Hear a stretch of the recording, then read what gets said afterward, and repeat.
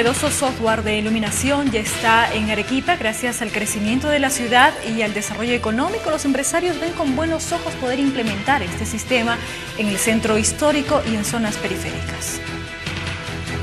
El software de iluminación creado a través de programas computarizados consiste en alumbrar amplias áreas como campos deportivos y centros comerciales, como también iluminar las avenidas y calles más transitadas de la ciudad. El novedoso sistema denominado Ulises calcula el nivel de luz artificial necesaria para diversas áreas públicas, lo que garantiza una gestión eficiente de la iluminación que actualmente representa el 20% del consumo global de electricidad. Busca, fuera de mejorar el contorno de la ciudad, ahorrar energía. Por supuesto, porque cabalmente es, eh, este software nos permite eh, distribuir las, eh, las luminarias a una distancia que nos los da ya el, software, ¿no? Es, una distancia óptima, ¿no? La coordinación de la empresa Schrader eh, eh, consiste básicamente en un software para lo que es cálculos de alumbrado público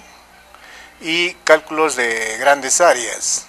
Vamos a decir grandes centros comerciales, aeropuertos, eh, campos deportivos. Entonces, eh, básicamente de eso se trata el curso. El lanzamiento de este innovador producto tecnológico se realizó en el Colegio de Ingenieros de Arequipa, específicamente en el capítulo de mecánica eléctrica. Si bien Arequipa es una de las principales ciudades del Perú, este año su interés por mejorar sus distritos ha permitido desarrollar diferentes proyectos. Uno de ellos es, sin lugar a dudas, el software de iluminación. Este software de iluminación Ulises es un software fabricado por Schroeder Bélgica. Es un software especializado en todo lo que es elaboración de cálculos de iluminación de alumbrado público, urbano, industrial y grandes áreas. Es un software que nos permite proyectar cómo va a ser el proyecto de iluminación acorde a las normas internacionales vigentes.